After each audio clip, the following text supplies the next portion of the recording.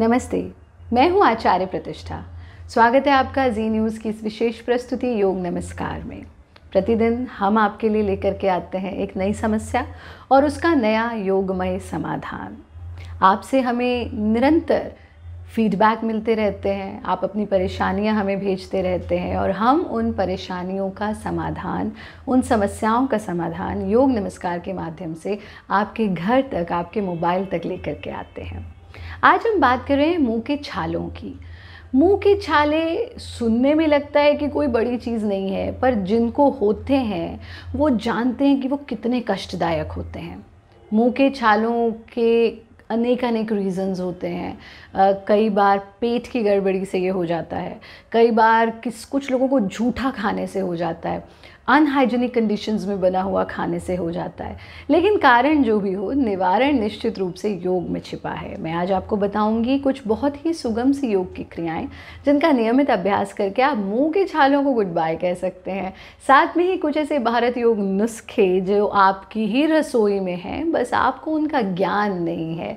वो नुस्खे क्या हैं और वो योगाभ्यास क्या है, आइए अच्छे से सीखते हैं। अगर आपको भी मुँह में छालों की समस्या है तो आप करेंगे शीतली प्राणायाम का अभ्यास। शीतली प्राणायाम यथा नाम तथा गुणा, ये हमारे भीतर शीतलता लाता है और ख़ासतौर पर इस समय जब वेदर चेंज हो रहा है, मौसम बदल रहा है तो आपको इस प्राणायाम को करने की और भी ज़्यादा आवश्यकता है।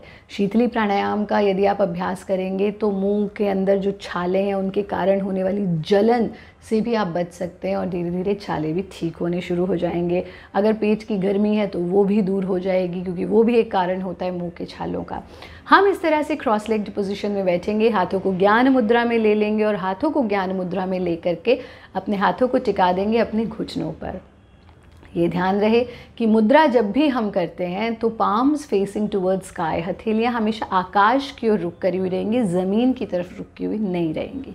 इस स्थिति में बैठना, आँखों को बंद कर लेना और अपने ऊपर और नीचे के दोनों दांतों को मिला लेना इस प्रकार से। इस स्थिति में आना और ये जो आपने अपने मुँह की शेप बनाई है, इसी से सांस को भीतर खींचना है।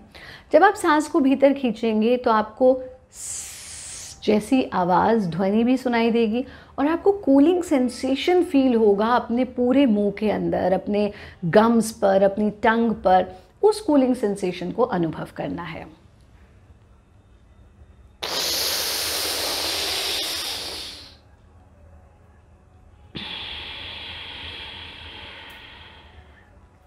मुँह बंद करना और नाक से सांस छोड़ देना। अच्छे से देखिए इसको।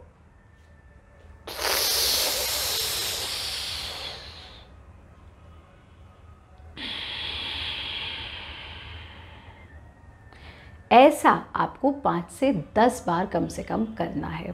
नियमित रूप का, रूप से इसका अभ्यास करें। आप देखेंगे कि छालों की समस्या दूर होने लगेगी। जाने से पहले हमारे भारत योग के कुछ नुस्खे ज़रूर लेते जाएँ। अगर आपको भी मुँह में छाले हैं तो एक काम आप ज़रूर करें। आप शहद ले लीजिए और शहद में थोड़ा सा मुलैठी का पाउडर मिला लीजिए।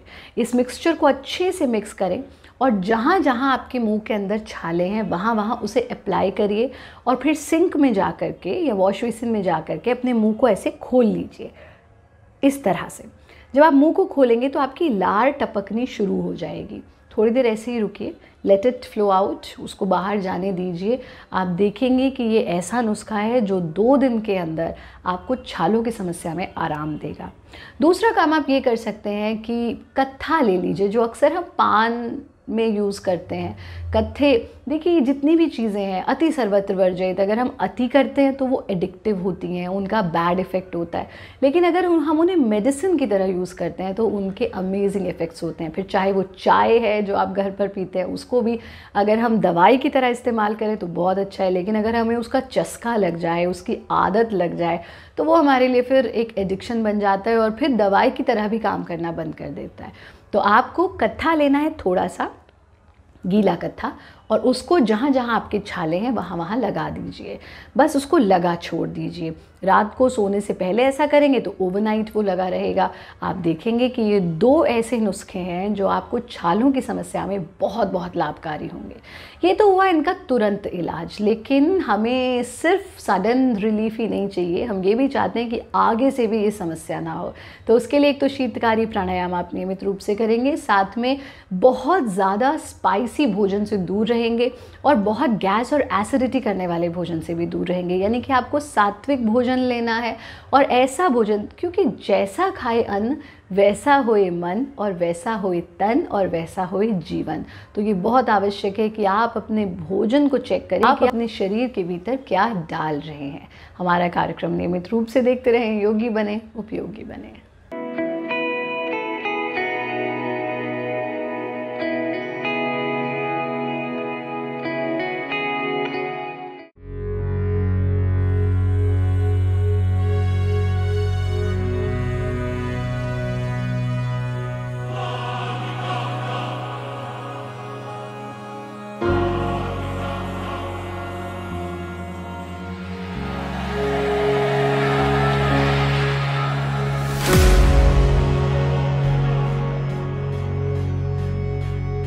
Good evening and welcome to Z News Bulletin.